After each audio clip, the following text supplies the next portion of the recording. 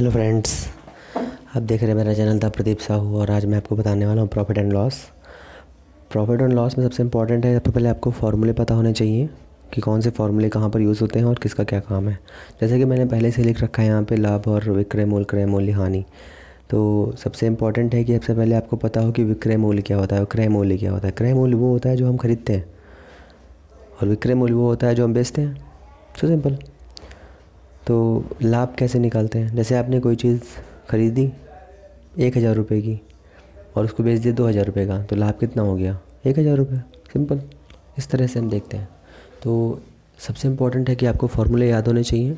उस फार्मूले याद करने के लिए आपको एक शॉर्ट ट्रिक बताता हूँ मैं। लाभ हानि के दो फार्मूले दिए हुए हैं ये। ये दो फार्मूले दिए हुए हैं, दो फार्मूले याद होने चाहिए आपको।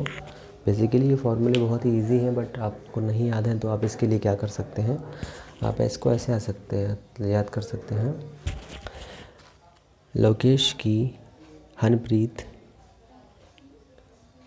हनप्रीत के साथ शादी या विवाह। तो लवकेश लवकेश मीन्स लव लाभ इज़ इक्वल विक्रय मूल्य माइनस क्रय मूल्य हनीप्रीत हनीप्रीत हनीप्रीत कहानी के साथ शादी के साथ विवाह। क्रय मूल्य माइनस विक्रय मूल्य ठीक है ना? ओके ये ट्रिक आप याद रखिए हमेशा। लव केश लव केश मीन्स लाभ। विक्रय मूल्य माइनस क्रय मूल्य हनप्रीत की शादी, क्या विवाह? तो हनप्रीत का विवाह क्या हो जाएगा? हानि और क्रय मूल्य विक्रय मूल्य so simple it's very easy आप इसका अपने दोस्त का नाम भी लेकर के किसी को बना सकते हैं ऐसे करके। लाभ प्रतिशत में हमेशा लाभ और हानि में हमेशा क्रय मूल्य पर हम निकालते हैं। छोटा सा एग्ज़ाम्पल मैंने यहाँ पे दिया हुआ है।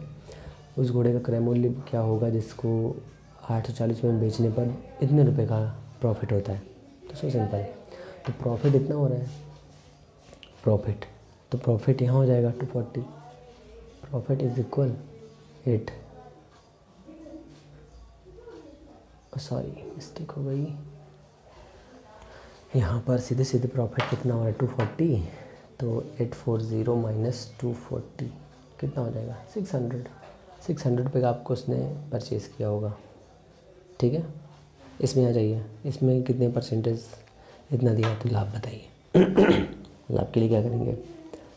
Six thousand minus five thousand is equal जो भी आएगा वन थाउज़ेंड आपने कितने रुपये का खरीदा था? पाँच रुपये का। परसेंटेज बताइए। परसेंटेज के लिए क्या होता है? कितना लाभ हुआ आपको? इतना? One thousand divided by into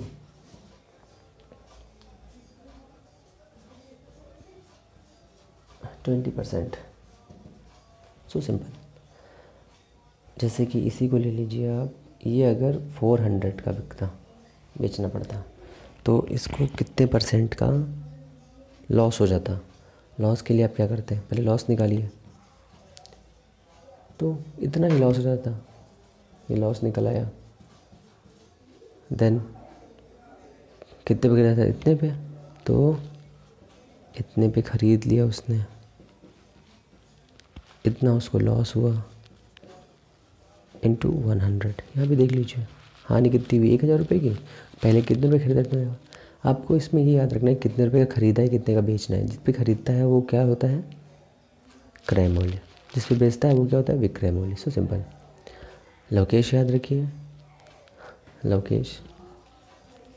Lavkesh. लाभ इज़ इक्वल विक्रय मूल्य, क्रय मूल्य। हनप्रीत याद रखिए। हनप्रीत का विवाह याद रखिए। हनप्रीत का विवाह। तो हनप्रीत का विवाह क्या होता है? मैं फिर से लिखा दे रहा हूँ एक बार। लवकेश याद रखिए। मेरी राइटिंग थोड़ी ख़राब हो गई है। लवकेश मीन्स लाभ इज़ इक्वल विक्रम क्रय मूल्य। हनीप्रीत हनीप्रीत, प्रीत का विवाह। याद रखिए, इसकी हानि क्रय मूल्य माइनस विक्रय मूल्य ये दो फॉर्मूले बहुत इजी तरीके से आपको याद रखने हैं। शॉर्ट ट्रिक है, फटाफट आप याद कर लीजिए इसको। उसके बाद हमेशा याद रखिए कि लाभ और हानि हमेशा क्रय मूल्य पर निकालते हैं जिस पर हम खरीदते हैं।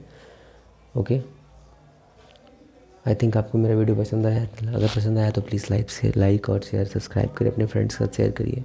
यू पी टेट का है, मैं आगे भी इसका वीडियो आज शाम को दूसरा अपलोड कर दूँगा। Okay thank you